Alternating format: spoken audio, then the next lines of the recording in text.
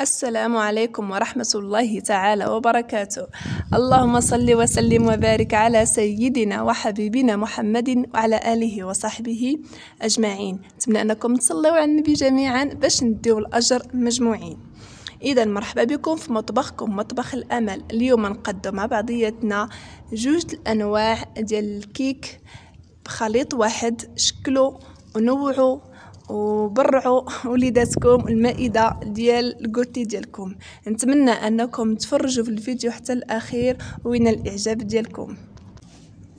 اذا على بركة الله بالنسبة للمقادير الرئيسية أو الخليط الرئيسي عندي هنا خمسة ديال البيضات عندي هنا البيض الصغير اللي عندكم كبير ديروا ربعة فقط يكون بحراره المطبخ. عندي كأس ديال الحليب يكون كذلك بحرارة المطبخ. كأس مع مرش كما كتشوفوا معايا ديال زيت المائدة. وكأس ونص ديال السكر حبيبات. وكذلك واحد الحك ديال الياغورت عندي هنا بالنكهة الفاني ديروا أي نكهة بغيتو. اذا على بركة الله غادي نبداو الطريقة اللي جيت سهلة وغادي نحتاجو فيها. كأس ديال الخلاط الكهربائي. غادي ندير البيض ديالي كامل كيف ما سبق لي ذكرت خمسة البيضات إلا كانوا صغار إلا كانوا كبار ديروا ربعة فقط. غادي ندير البيض وكذلك غادي نضيف ليه قبيصة ديال الملح. كما كنعرفوا ضروريه باش تقاد لينا الذوق ديال الخليط ديالنا. عندي كاس ونص ديال السكر حبيبات كيف ما سبق لي ذكرت بحكم أنه عندي جوج ديال لي كيك.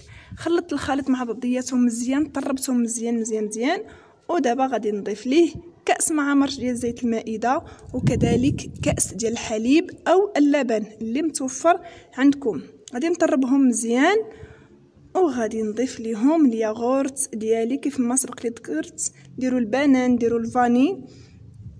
اللي متوفر عندكم. يمكن لكم تعوضوا الياغورت بكاس آخر ديال الحليب اولا كاس ديال الماء.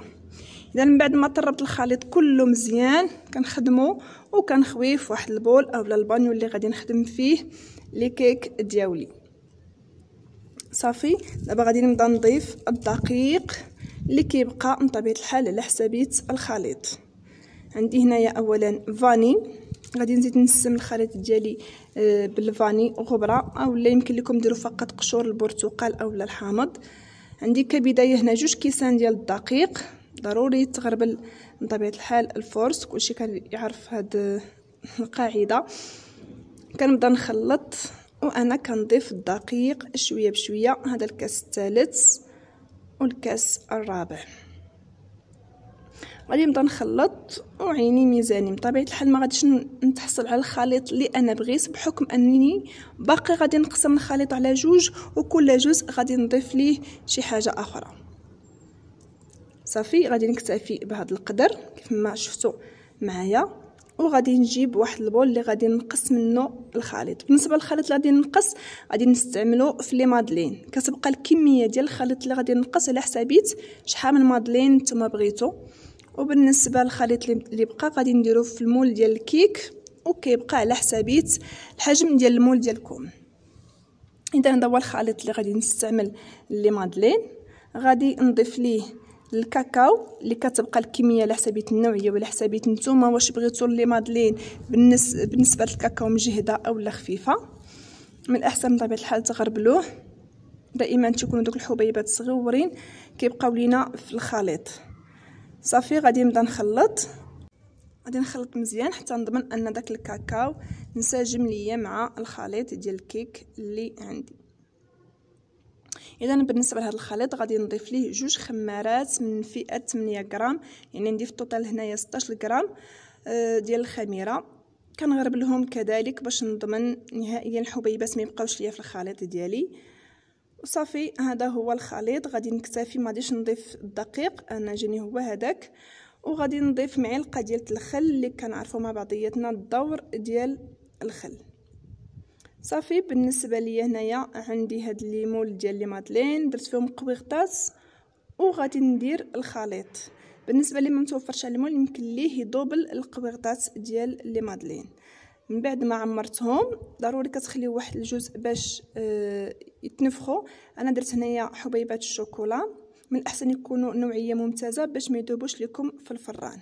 غادي نخليهم جانبا ونمروا للخليط الثاني غادي نحتاجو فيه واحد الحبة ديال الليمون أو الحامض.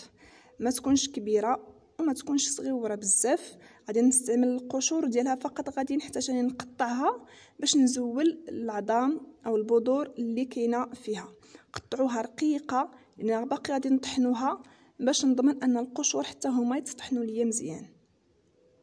صافي بالنسبة ليا هذا هو كما شفتوا ما عنديش العظام. ضروري تردوا البال ضروري تردوا البال. غادي نقطع الكمية كاملة وغادي نطحنها مع نصف كأس ديال الماء في الخلاط الكهربائي. نصف كأس ديال الماء. ونتلاقاو إن شاء الله. إذا هذا الخليط اللي طرفت اولا اللي خليته جانبا في الأول كيف ما شفتوا ضفت الخليط ديال نص كاس الماء مع واحد الحامضة. من بعد ما طحنته مزيان في الخلاط الكهربائي وغادي نضيف هنايا آه، بذور الخشخاش البوافو كيبقاو اختياريين وكتبقى الكمية على حسابية الذوق. وكذلك ضفت هنايا جوج خمارات من فئة 8 غرام. أه وغادي نضيف شوية ديال الدقيق لأنني حسيت به بحال خفيف. هذا هو الخليط كيف ما كتشوفوا. كيبقى لكم طبيعة الحال حينكم ميزانكم بحكم أنه كل واحد والدقيق اللي عنده. إذا غادي نشعل الفران ونخل... وندخل الخليط ديال الكيك ولي مادلين. الفران يكون بارد وندخلهم يطيبوا على عافية مهيلة. وهذا الشكل النهائي ديال الكيك راه كيجي رائع. منسم بنكهة ديال الحامض اولا الليمون كيجي غزال وخفيف مع داك البذور الخشخاش اللي كيكون فيه. يمكن لكم تستغناو عليه ولكن راه إضافة زوينة للكيك. نتمنى أنكم تجربوا بهذه الطريقة. آه، فعلا كيستحق التجربة.